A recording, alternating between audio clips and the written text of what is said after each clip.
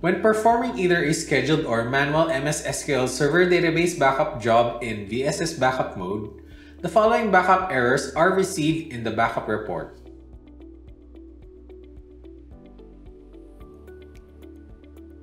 The backup error persists even after the following actions have been performed. The MS SQL Server version is updated to the latest service pack or rollup.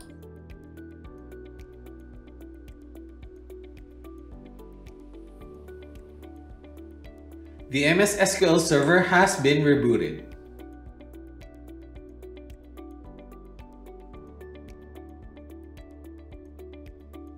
The VSS writers have been re-registered using the register_vss.bat file. It is located at the following. Drive C, Program Files, Ahsay OBM, bin, then search for the register_vss.bat file.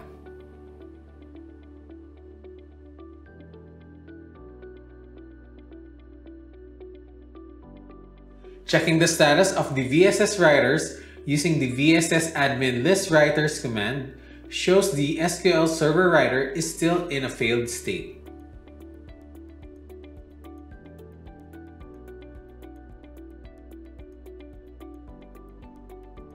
The issue can occur if there is not enough space on the SQL Server to create a VSS snapshot of the database. In other words, the maximum size of the shadow storage area is too small.